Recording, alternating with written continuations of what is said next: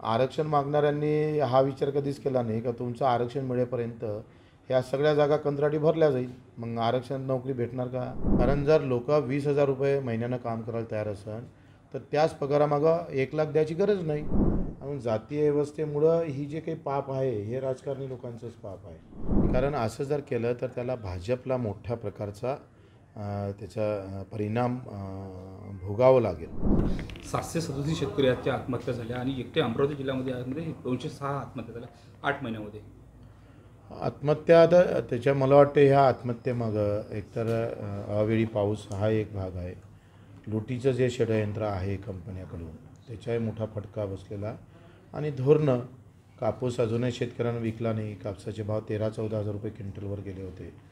ते सहा सात हजार रुपये क्विंटलनं विकावं लागले. म्हणजे जिथं भाव भेटतं तिथं सरकार हस्तक्षेप करतं आणि भाव कमी झाले तर सरकार हस्तक्षेप करत नाही. या धोरणाचे परिणाम आता शेतकऱ्यावर दिवसेंदिवस वाढत चालले आहे कोरड्या दुष्काळाचा सावट अशातच कोरड्या दुष्काळाचं मला तर काही सध्या सावट वाटत नाही. वाटतं तुम्ही थोडंसं कॅमेरा फिरवा आता पाहिजे तेवढं पाणी नाही आलं पण पिकं वाचलं एवढं पाणी सध्या आहे. नाही हवामान खात्याचा तेरा त्यांचा अंदाज होता.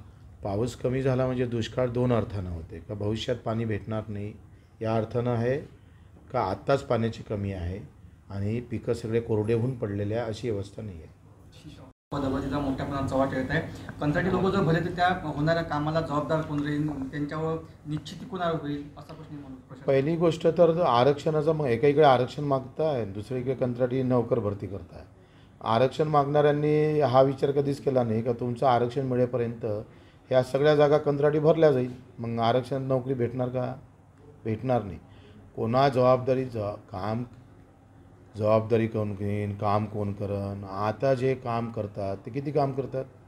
याचं मूल्यांकन झालं का कधी देशामध्ये? का आमचा कलेक्टर छत्तीस जिल्हे आहे? छत्तीस जिल्ह्यातल्या कलेक्टरचं मूल्यांकन होतं कधी? याचं याची तपासणी होते? तहसीलदार किती टक्के काम करतं?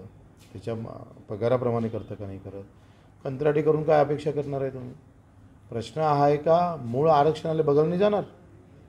तुम्ही जर पन्नास साठ एक लाख जर पदं तुम्ही कंत्राटी भरत असाल तर मग आरक्षण निश्चित करून भरा ना. ठीक आहे कंत्राटी. माझं तर मत आहे कंत्राटी काय द्यायला काही हरकत नाही.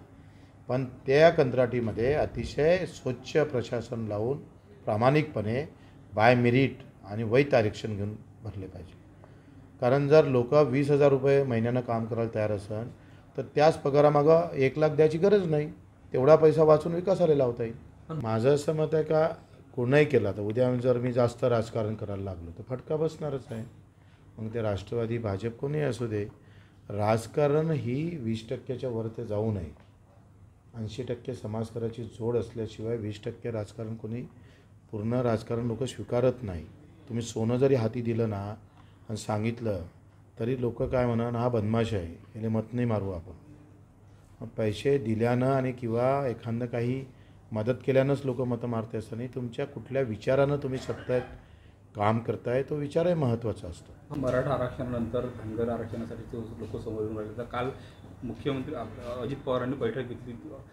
मुस्लिम समाजाचा धनगर समाज आरक्षणाचा पण मुद्दा समोर आला. काय मला वाटतं धनगर समाजांचं हे आरक्षणाचा विषय आहे मुस्लिमांचा आहे मराठ्यांचा आहे हे सगळे आरक्षण महत्त्वाचे आहेच. त्यांना ते दिलेच पाहिजे. दुसरं असं का आता काही समाज सुटलेले आहे तर आमची तर माना समाज आहे. तो कायच्यातच नाही आहे. तो इतका गरीब आहे.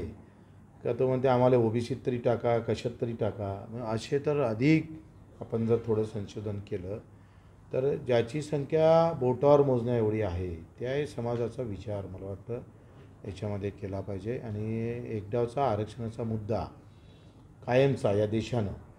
कारण आता आपण पाहतो का देशामध्ये राजकीय लोकांना व्यवस्था ही जातीय व्यवस्था निर्माण केलेली आहे. मुळात विकासाची व्यवस्था या देशामध्ये निर्माण होऊ शकली नाही आणि विकासावर मतही घेऊ शकले नाही कुठलाही पक्ष. म्हणून जातीय व्यवस्थेमुळं ही जे काही पाप आहे हे राजकारणी लोकांचंच पाप आहे. जे काही आज आपण पाहतो आहे का अनेक चांगले समाज त्याच्यातून गरीब समाज वंचित राहिलेला आहे हे राजकीय लोकांनी केलेली व्यवस्थित गणितं आहे आणि त्याच्यामुळे त्यांचं राजकारण पंच्याहत्तर वर्ष अतिशय काही न करता झालेलं आहे. आता खरं तर पुन्हा लोक मतं मागायला येईल.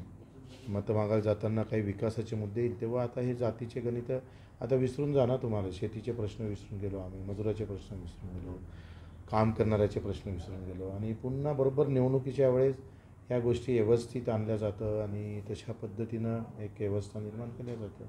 लोक शेवटी निवडणुकीत जातीचे मुद्दे घेऊन मतं मारणार. एकनाथ शिंदे जर अपात्र झाल्यास अजित पवारांना मुख्यमंत्री किंवा भाजपकडून देवेंद्र फडणवीस विखे पाटील यांचं नाव सुद्धा असं काय होऊ शकतं का भविष्यात? असं होऊ शकत नाही कारण असं जर केलं तर त्याला भाजपला मोठ्या प्रकारचा त्याचा परिणाम भोगावं लागेल. काय होतं आहे का आत्ता ह्या सगळ्या ज्या गडबडी केल्या याच्यामध्येच पहिले निगेटिव्ह होत आहे नकारात्मक वातावरण होत आहे ते पॉझिटिव्ह करायलाच कसरत जात आहे सगळ्यांचीच. शिंदेसाहेबांची म्हणा अजितदादाची म्हणा किंवा देवेंद्रजी म्हणा वरते काही न- नेते असं त्याच्यातही आत्ता आपण शिंदेला जर शिंदेसाहेबांना बाहेर काढलं उद्या उद्या उपमुख्यमंत्री बदललं तर शिंदेसाहेबांचे दहा टक्के पाच टक्के मत आहे. तेही नाराज होणार आहे. म्हणजे नाराजीच्या सुरुवात असणाऱ्याची टक्केवारी जर वाढली तर तुमचे प्लॅन कुठलेच कामी येणार नाही. मग लोक आपला प्लॅन सुरू करून देईल. आणि त्या प्लॅनमध्ये मग कोणता पक्ष ठेवायचा नाही ठेवायचा ते ठरवं